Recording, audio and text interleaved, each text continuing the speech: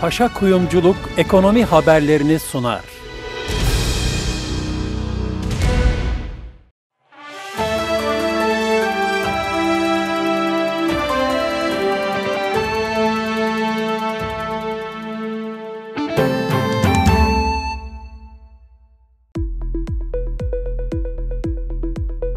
Borsa İstanbul günü düşüşle kapadı. Borsa eksi 1,76 puan düşerek günü 7853 puandan kapadı. Çanakkale altın piyasasında ise fiyatlar şöyle oluştu. Çeyrek altın 3243 liradan, Cumhuriyet altın 13240 liradan, 22 ayar bilezik ise 1890 liradan alıcısına ulaştı. Serbest döviz piyasasında dolar 29 lira 6 kuruştan işlem görürken, euro 31 lira 75 kuruştan alıcısına ulaştı.